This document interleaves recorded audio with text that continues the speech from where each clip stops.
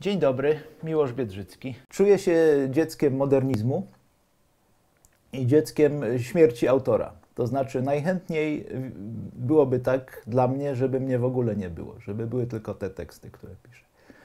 Ale jak się okazuje, publiczność jest albo premodernistyczna, albo postmodernistyczna, nie wiem która do końca, i domaga się tego autora wobec czego no, muszę się troszkę nagiąć. Natomiast e, czasami mam poczucie takie, że jest wręcz odwrotnie niż tej śmierci autora, że nastąpiła śmierć tekstu i że ten tekst jest tylko pretekstem, a czytelnicy woleliby słuchać, e, że tam autor ma trzecią rękę na plecach albo coś mu się zdarzyło w życiu.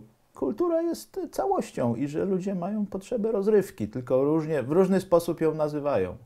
E, może sublimują, że chcieliby e, tą rozrywkę mieć na jakimś poziomie odpowiednim e, ze swoimi aspiracjami, ze swoim postrzeganym statusem społecznym, ale w dużej mierze jest to dalej oglądanie garbusa i baby z brodą. Z mojego punktu widzenia niedobrze, bo ja mam taki temperament, że, że nie chciałbym być babą z brodą.